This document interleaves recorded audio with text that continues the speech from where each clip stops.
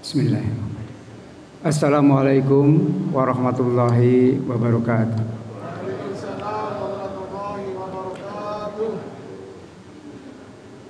Alhamdulillahilladzi anzala ala abdil kitab wa lam yaj'al lahu iwaja.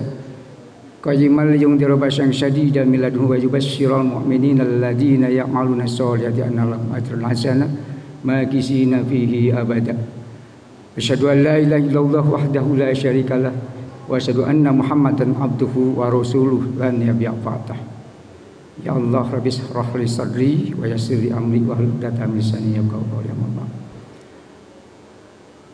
Yang saya hormati para pengurus Masjid At-Taqwa, wabil khusus di sini Pak Haji Didi Sukaidi, juga ada Pak Haji Kirman beserta jajarannya. Yang saya hormati juga sekaligus saya muliakan jamaah taraweh Masjid Taqwa hadirin hadirat yang insya Allah dimuliakan oleh Allah Subhanahu wa taala. Tentunya yang utama, yang paling utama jangan bosan-bosan selalu kita mengucapkan puji syukur kehadirat Allah Subhanahu wa taala. Dalam kesempatan ini kita sudah menginjak hari yang ke-26.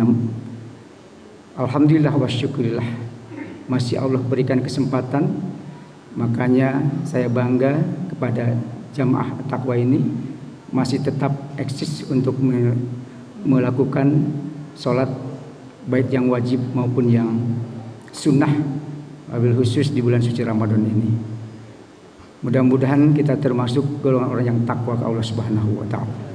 Salawat serta salam tak lupa juga semoga tertumpah ruah pada junjungan umat baginda Rasulullah sallallahu alaihi wasallam pada keluarganya, para sahabatnya, serta para pengikut yang yang istiqomah termasuk yang hadir di sini. Mudah-mudahan kita kelak di yang akhir mendapat syafatul uzma dari baginda Rasulullah SAW. Dan semoga kita juga yang apa diberikan kesempatan oleh baginda Rasulullah mampir di telaganya Rasulullah yaitu telaganya Kausar. Telaga Kausar itu ibaratkan ada dua sungai dari jannahnya kausar mengalir. Putihnya lebih putih daripada susu, manisnya lebih manis daripada madu. Wajannya atau gelas-gelasnya cahaya yang sesuai ban, yang ada cahaya seperti ban, apa, bintang di langit. Tentunya bagi manusia yang meminum telaganya kausar itu tidak akan pernah haus selama-lamanya. Mudah-mudahan kita termasuk di dalamnya. Hadirin rahimakumullah. Sebelum saya menyampaikan tentunya izin yang kedua kalinya yaitu amanah dari para pengurus untuk menyampaikan kultum pada malam ini. Mengutip dari yang pertama, mungkin kita sudah tahu tapi mengingat-ingat kembali. Saya yang pertama itu menyampaikan dari sahabat Nabi Salman Al Farisi tadi bahwa eh, puasa itu dibagi tiga dalam arti yang pertama rahman itu tertinggi dari Allah Subhanahu memberikan untuk manusia. Karena kalau nikmat hanya hanya kesenangan-senangan belaka.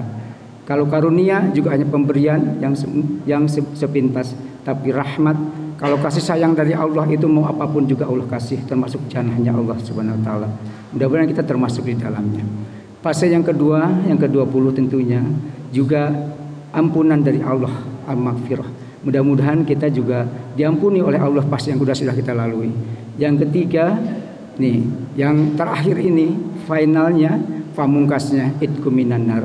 Tentunya mudah-mudahan kita dibebaskan dari api neraka. Karena Ramadan ini ada yang bilang juga pembakaran, ada yang juga melipat gandakan. Tentunya ini pestanya dari bulan suci Ramadan ini. Hadirin rahimakumullah. Tidak sedikit para alim ulama menyampaikan di fase terakhir ini berlomba-lomba untuk mencapai padilahnya sebanyak-banyaknya untuk kaum muslimin di dunia ini. Baginda Rasulullah Shallallahu Alaihi Wasallam juga menyungsingkan untuk beribadah uh, di, di fase terakhir ini bahwa beliau mengingatkan untuk umat kaum muslimin ada lima hal tentunya. Yang pertama itikaf di masjid. Itikaf di masjid bahwa umur mukminin Asyah radhiyallahu juga menyampaikan bahwa hari terakhir malah ya mohon maaf bulan-bulan terakhir di hari terakhirnya Ramadan baginda Rasulullah SAW selalu itikaf di masjid. Sampai Allah menjemputnya sampai Allah apa baginda Rasulullah wafat. Kemudian yang dilanjutkan oleh uh, istri-istrinya. Kemudian hadis yang lain juga menyampaikan Aisyah radhiyallahu anha menyampaikan di, di hari bulan terakhir Ramadan ini baginda Rasulullah SAW uh, eh, luar biasa ibadahnya. Tidak seperti biasa di bulan apa di waktu-waktu selainnya. Satu sampai dua sampai 20 mungkin biasa tapi di bulan terakhir ini bahwa pamungkas ini karena puasa itu final jadi ini Allah eh, baginda Rasulullah benar-benar sungguh-sungguh. Tentunya juga hadis yang lainnya hadis yang saya menyampaikan juga Siti Aisyah menyampaikan bahwa baginda Rasulullah Wasallam adalah menyingsingkan untuk pakaian ibadahnya. Kalau kita mungkin di sini di Atapama ada yang sarung, ada yang apa, benar-benar meningkatkan untuk ibadah, kemudian membangunkan istri-istrinya untuk istikaf di untuk di di masjid. Hadirin rahimakumullah. Tapi dalam syafi'iyah juga menyampaikan bahwa dalam situasi pandemi khususnya bagi yang kena pandemi, bagi yang apa zona merah bisa itikaf di rumah atau di tempat-tempat ibadah, menggelar permadani, menggelar karpet atau menggelar sajadah, juga membuat panggung khusus untuk pengganti masjid itu bisa dilakukan. Tapi insya Allah dia takwa kita tidak usah juga kita bisa di musola di mana insya Allah bisa bisa melakukan itikaf. Apa itu arti itikaf? Itikaf itu adalah diam, duduk, kemudian niat karena Allah untuk beribadah kepada Allah Subhanahu wa taala. Mudah-mudahan kita bisa menjalankannya baik di masjid, baik di musola maupun di mana yang sedang sakit bisa di rumah. Hadirin rahimakumullah. Yang kedua yang perlu kita ingat adalah diperbanyak berbaca doa, membaca doa di jauh apa di hari-hari terakhir ini. Tentunya para ulama menyampaikan perbanyaklah membaca doa terutama di bulan Ramadan di akhir Ramadannya perbanyak berdoa. Makanya Siti Aisyah Ummul Mukminin menyampaikan, "Ya Rasulullah, doa apa yang harus disampaikan pada hari-hari terakhir itu?" Sering kita tadi Ustadz tuh apa? E, membaca doanya. Allahumma innaka afuwun tuhibul afa fa'fana. Allahumma innaka afuwun tuhibul afa. Allahumma innaka afuwun tuhibul fa'fana ya karim. Ya Allah, Engkaulah Maha Pengampun. Ya, ya Allah, ya Allah yang ya Allah yang kau maha pengampun. Ampunilah aku tentunya ya. Maha pengampun dan suka mengampuni, maka ampunilah aku. Begitu. Jadi Allah Maha Pemaaf, maafkanlah aku seperti gitu. Jadi intinya diperbanyaklah berdoa karena berdoa bagi kita adalah sangat penting. Doa umuhul ibadah. Doa itu adalah sumsumnya kekuatan ibadah. Karena wajib bagi manusia khususnya bagi muslim musliman untuk beribadah Uduni astajib lakum. Mintalah kepadaku. Insya Allah pasti aku Allah akan kabul ibadah kita. Baik yang langsung dari dunia atau digantikan doanya atau nanti di yaumil akhir digantikan menjadi bonus kita. Tahu-tahu kita dirapel nanti di yaumil akhir. Makanya kalau kita ke manusia makhluk minta ada bosannya. Tapi kepada Allah, Allah lebih dekat kepada kita. Minta, minta, minta terus apa pun yang kita maukan. Insya Allah Allah akan kabulkan. Hadirin rahimakumullah. Kemudian yang ketiga, yang ketiga adalah uh, Qiyamul atau istilahnya Qiyamul Ramadan. Jadi malam-malam salat malam hari. Tentunya sholat malam hari itu diawali oleh sholat isya, alhamdulillah kita sudah lakukan. Kemudian sholat tarawih juga kita sudah lakukan. Tarawih ini juga ada yang dengan witir bisa 11, bisa 21, bahkan Imam Maliki bisa 41. Silahkan, ini tergantung kekuatan kita. Nah, ini di sini kita bagaimana kita karena Allahnya ternyata kalau kalau kalau kita ibadah sungguh-sungguh insya Allah akan mengubulkannya perbanyaklah Lailatul uh, Qiyamul Lail ini bahwa perbanyak sholat pertama sujud kepada Allah kemudian tadi kita jumpa permintaan permintaan kepada Allah Subhanahu wa taala.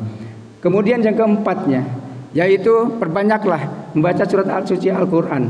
Nah, ini kalau kita mengingat Al-Qur'an pasti ingat Ramadan. Kalau kita ingat Ramadan pasti ingat Al-Qur'an karena Ramadan itu diturunkannya adalah ayat suci Al-Qur'an. Jadi Al-Quran ini pertama ditanggikan untuk pendidikan buat kita, untuk pembeda pembeda ini memberikan penjelasan-penjelasan kepada kita dan pembeda bahwa mana yang hak, mana yang batil. Nah, baginda Rasulullah SAW, barang siapa membaca Al-Quran, satu ayat itu dibayar sepuluh. Maksudnya diganti pahala kebaikannya ada sepuluh. Kalau di bulan Ramadan ini dilipat gandakan 700 bayangkan. 700 kebaikan. Nah, intinya ada alim ulama yang lain menyampaikan 10 itu kalau di hari biasa itu tidak punya wudhu. Kalau punya wudhu dibaca Al-Quran itu 25. Kalau dalam sholat dibaca itu 50 kebajikan. Bayangkan aja kalau kita dibaca sholat nih tadi Alhamdulillah Ustadz Abu membaca dengan tartil 50 kali berapa itu? 700 sudah 300 Dah hitung sendirilah. Intinya ini memang bulan yang pesta berkah, pesta pahala dari Allah Subhanahu wa taala. Tapi kita kadang-kadang jadi sahabat manusia panjang sedikit imam aja ngedumel. Jadi kita memang sholatnya sholat karena imam. Sholatnya banyak masih karena imam. Memperhatikan imam ya sholat, bukan karena Allah. Sebetulnya kita mempersiapkan imam ya imam seterusnya. Salah, baik, buruk ada di imam. Kecuali kelewatan salah boleh benarkan di belakang. Dalam arti imam itu nggak boleh kan sholat benar, tapi dengan hati nurani kita memperhatikannya. Bah, kalau kalian kan, nah itulah kita manusiawi ya. Kadang-kadang ngantuk lah, imam panjang sedikit, imam laku sedikit, kita gerah di, di ini. Padahal ibadah tujuannya hanya kepada Allah Subhanahu Wa Taala. Nah hadirin rahimakumullah. Yang terakhir tentunya singkat kata aja nih. Yang terakhir adalah yang kelima adalah sodakoh malam, syahrul muasah. Bagi Rasulullah SAW, eh, sodakoh malam itu sodakoh muasah. Syahrul muasah berarti bulan uh, untuk berbagi. Jadi berbagi. Baginda Rasulullah SAW kalau menjelang akhir-akhir itu mencari fakir miskin, mana yang tidak mampu, mana yang perlu dibantu, dibantu. Nah itulah bagi Rasulullah SAW. Insya Allah DKMK ada panitia kita ya di hari terakhir zakat fitrahnya dibagikan dan sebagainya. Insya Allah kita berkah untuk semuanya. Hadirin rahimahullah. Karena ibadah yang paling suka di sisi Allah adalah ibadah yang paling menyukai untuk orang lain. Nabi baginda Nabi Rasulullah SAW anfahum linnas. Sesungguhnya manusia yang baik yaitu untuk baik untuk orang lain. Tentunya ini ibrah buat kita semuanya bahwa berbaik berbaik sesama adalah baik. Karena perbuatan baik itu bukan untuk orang lain tapi untuk diri kita sendiri. Dalam Al-Hasyr surat Al-Hasyr ayat 7 sampaikan Inna ahsantum ahsantum li angpusikum li angpusikum wa ahsantum palaha. Sesungguhnya perbuatan baik itu kita berbuat baik untuk diri kita sendiri. Kemudian wa ahsantum palaha jika perbuatan salah atau enggak baik itu tentunya untuk diri, diri sendiri. Saya sering menganalogikan bahwa ibaratnya ucapan itu baterai atau senter. Hati diumpamakan adalah cermin. Kalau baterai itu disenterkan ke cermin, putih, hati kita juga akan putih bersih. Kalau cer, kalau baterai atau senter itu ditutup dengan amarah, dengan merah, pasti baliknya ke kita akan amarah itu balik ke kita. Kemudian kalau hitam dengan mendoakan orang keburukan, pasti akan balik, balik lagi keburukan ke diri kita. Maka naudzubillah, summa naudzubillah. Tentunya hal ini harus kita pandai-pandai mengaji diri, mengintrospeksi bahwa dunia cukup di tangan saja, bahwa Allah cukup di hati. Nah, saya rasa itu yang dapat saya, saya sampaikan.